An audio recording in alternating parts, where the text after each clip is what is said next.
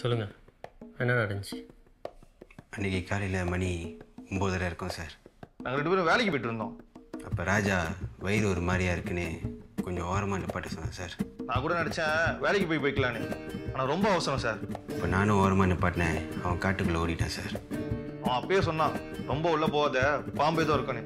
ஆனால் அதான் கேட்கல என்னதான் பார்த்தான்னு தெரில பதறி அடிச்சு ஓடியாந்தான் நானும் பாம்புன்னு தான் நினச்சேன்.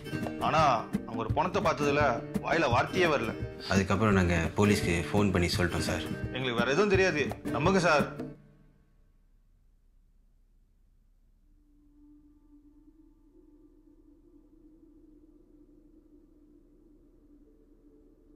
சார் ம். போஸ்ட்மார்ட்டம் ரிப்போர்ட்லாம் வந்துருச்சு சார். அந்த பாடியை அவங்க வீட்டில் கொடுத்தாச்சு. கஸ்டடியில் இருக்கிற அந்த ரெண்டு பேர் ரிலீஸ் பண்ணிடுங்க. சார்